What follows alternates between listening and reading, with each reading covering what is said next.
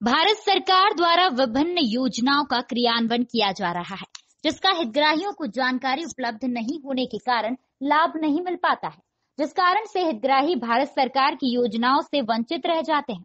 इसी को मद्देनजर रखते हुए भूपेंद्र रावत हरिपुर द्वारा ऑनलाइन पोर्टल कार्यालय का शुभारंभ गीता टॉकिज कॉम्प्लेक्स में संचालित किया गया। इसका शुभारंभ पूर्व मंडी अध्यक्ष जितेंद्र रावत इंटिमा द्वारा फीता काट कर किया गया। वहीं भूपेंद्र रावत ने मीडिया को बताया, एनएसई और बीएससी निवेशकों और कंपनियों दोनों के लिए एक सुरक्षित बाज़ार प्रदान करते हैं। दोनों उच्च लिक्विडिटी उच्च पहुँच और उच्च लेन देन की गति प्रदान करते हैं।